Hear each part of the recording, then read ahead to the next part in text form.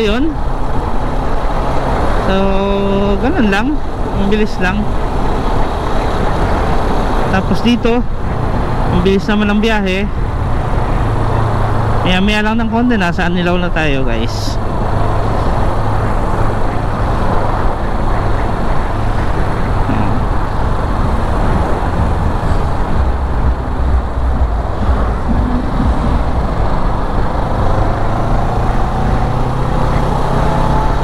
So bilis lang kasi nandito na tayo sa Bulbuk Kasunod na nito ay Bawan.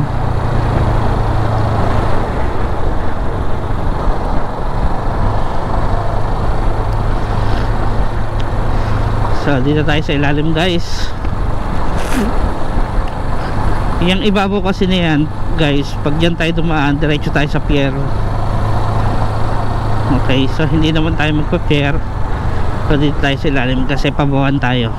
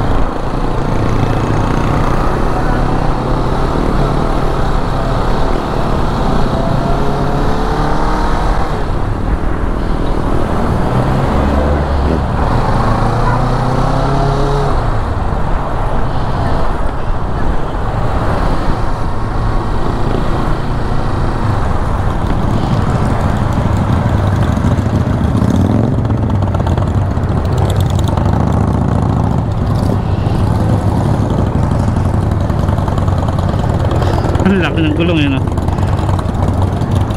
Hindi yung kadena ma-belt o oh, tingnan mo. Naka-belt. Hindi kadena.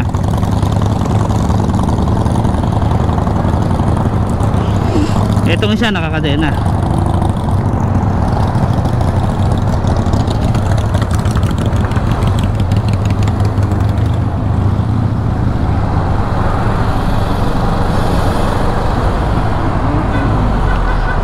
Aba, mataas din yun. Baka mga 1,000cc din yun. Baka higit pa.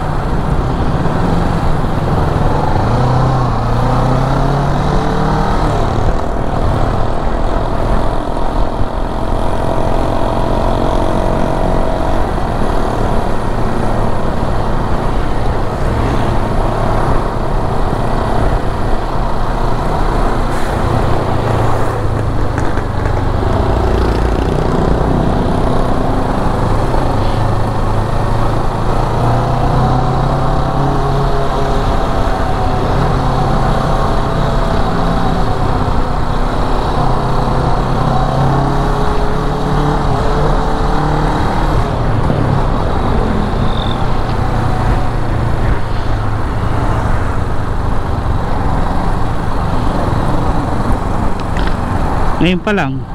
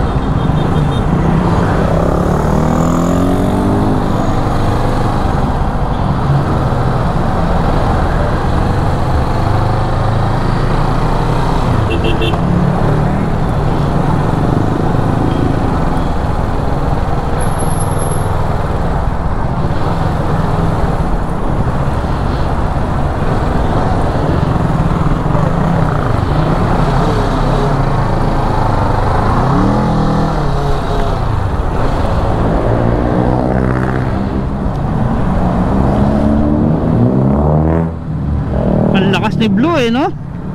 Nakita mo yung takbo natin sa express kanina ma? Nakikita mo yung speed natin kanina?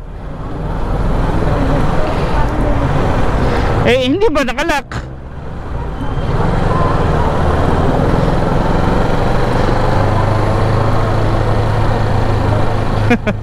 Lakas ng hangin no? Hindi ko nga maihataw si Blue eh. Ang, ang laki pa lang itutuli ni Blue sabi ko ang lakas ni Blue oh. Kasi napakasimple lang ng takbo natin pumapala na tayong 130 ha? Ang hindi hanggang 100 lang. Hanggang 100 sa mga ano sa mga kotse sa mga four wheels. Mas delikado sa motor doon kapag ka mabagal. Kaya pag motor hindi nila masyadong ano pinapansin pag kahit matulin kasi mas mas safe sa motor pag matulin kesa sa mabagal. Pag sa expressway.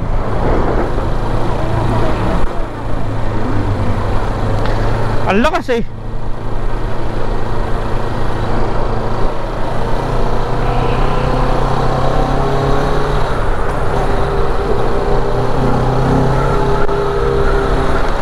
Ang lakas ni Blue pag hinataw. Hindi ko pa nga maka- may hataw si Blue kasi natatakot na ako. Sobrang tuli na natin.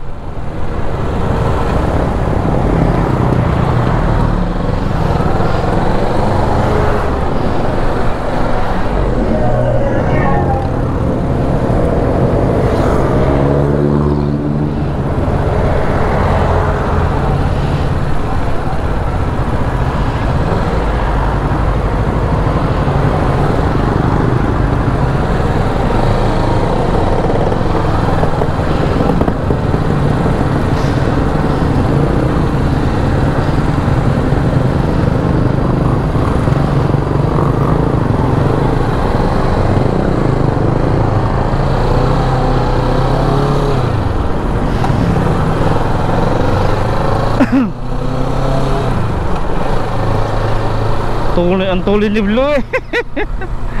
ang sarap gamitin, smooth na smooth eh.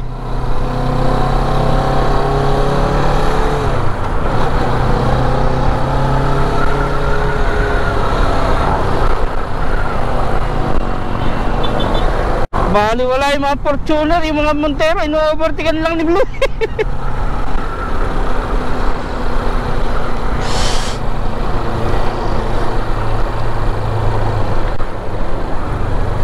Eh samantala dati, eh, samantalang dati takbo ni Blue 50 lang, 60 Nung hindi pa na PPMS no?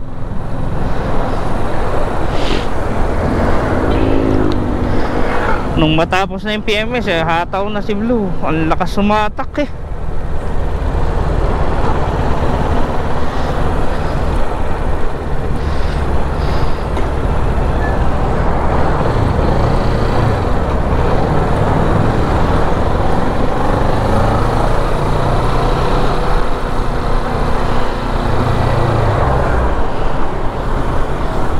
Bawa na agad.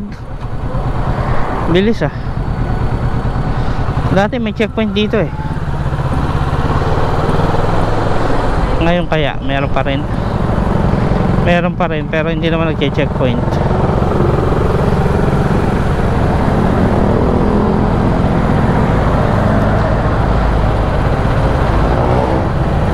So ayan guys, nandito na kami sa bayan ng Bawan ano. So saglit na lang at ah, malapit na tayo sa Mabini. Okay.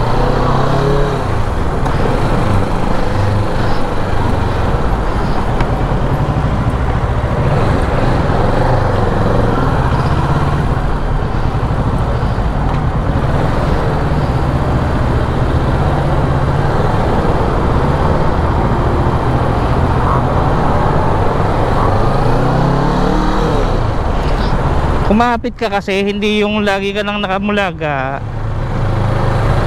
Pag biglang arangkada, laglag ka dyan.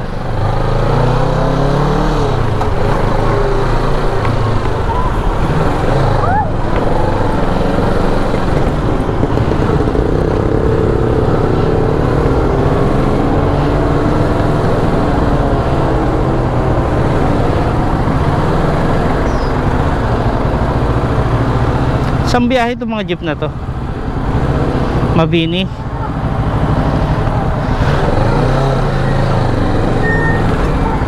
Ano?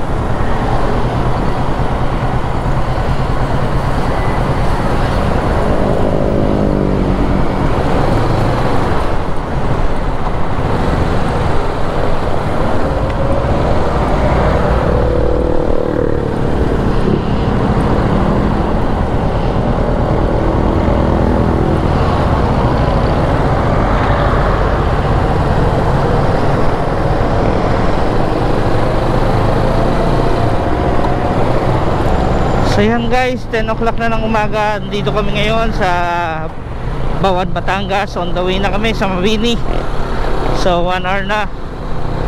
Ang nakakalipas mula nung umalis tayo sa bahay. Ah, So isang oras Andito na kami sa Bawan, Batangas. Okay. So yan, pa-exit na kami na Mabini guys On the way na, on the way na. Ito na yung kanto. Papuntang Mabini, Batangas, guys.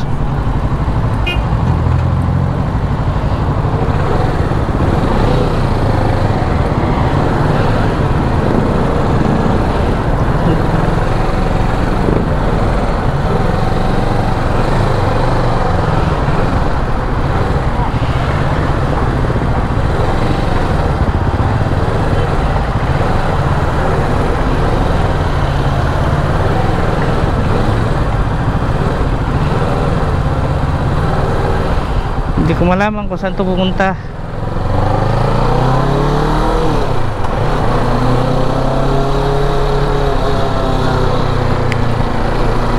Okay. So yan, baba ulit tayo ng helmet.